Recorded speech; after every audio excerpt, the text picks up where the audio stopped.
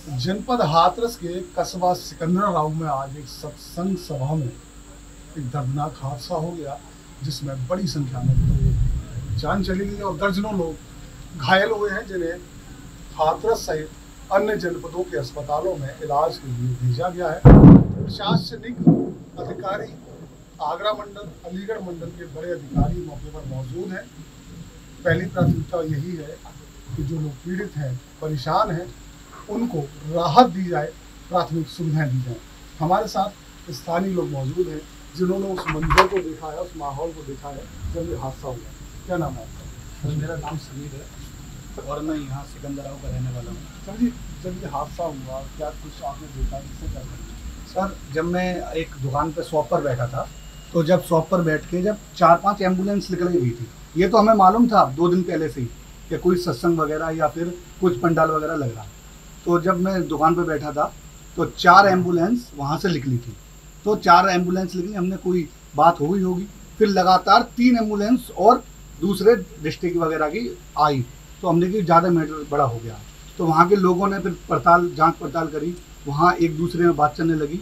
चलने के बाद ये पता चला कि वहाँ जो बाबा जी आए थे सत्संग के लिए तो वहाँ भगदड़ मच गई है। तो वहाँ जैसी भगदड़ मची है तो उसमें ये लोग दबे हुए पाए गए जो एंबुलेंस में आए। तो वहाँ से आने के बाद हम डायरेक्ट यहाँ पहुँचे हैं सरकारी अस्पताल। ट्रोमा सेंटर पर ट्रोमा सेंटर पे। तो यहाँ हमने देखा है कि दर्जनों के हिसाब से कोई यहाँ पड़ा हुआ है कोई वहाँ पड़ा हुआ है कोने में है कोई स्ट्रेचर पे सुविधाएँ नाम की कोई चीज़ नहीं थी सर। कैसा मंजर था दर्दनाक सर मंजर ऐसा था कि आँखों में से आँसू आ रहे थे सर। बिल्कुल कोई यहाँ पड़ा हुआ है। ज़्यादातर उसमें लेडीज़ थी सर। जेंट्स कम थे लेडीज़ ज़्यादा थी। तो सर सब उम्र की थी। बच्चे भी थे बारह साल के पंद्रह साल के। तीस साल की अस्सी साल की सत्तर साल की सब उम्र की थी। आप लोग यहाँ पहुँचे जी, मदद के लिए? मैं लो, मदद के लिए पहुँचे लेकिन सर प्रशासन इतना आ गया था कि उन्होंने ज़्यादा सुविधाएँ सुविधाएँ चुके क्या नाम लेकिन सर मोहम्मद अरशद नाम है हमारा। सर जिस वक्त हम शोर शराबा सुनकर भीड़ कर जब हम यहाँ पर आए ट्रामा सेंटर में तो हमने देखा काफ़ी लोग ज़्यादा घायल थे। तो उस बीच एक लड़की ने जो बदायूं के करीब की थी ज़िंदा थी वो फड़फड़ा रही थी ऑक्सीजन के लिए।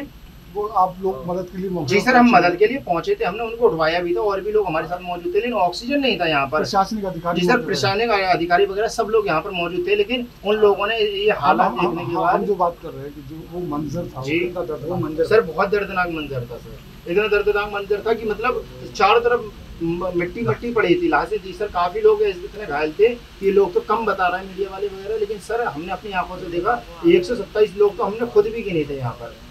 तो ये देखिए स्थानीय लोग हैं जो मदद के लिए आगे आए। इस हादसे की सूचना भी सूचना मिलने के बाद जब लोगों ने देखा कि मंजर भयावह है दर्दनाक है तो लोग इधर उधर पड़े हुए हैं। तो स्थानीय लोग मदद के लिए आगे दौड़े।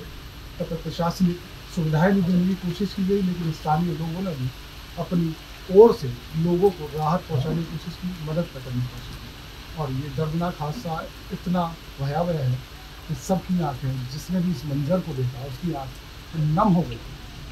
घायलों को अस्पताल में भेजा गया है।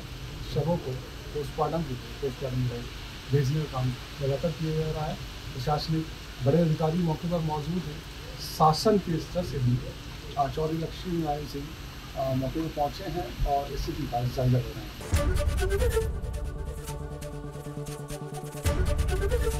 एबीपी गंगा, खबर आपकी, ज़ुबान आपकी।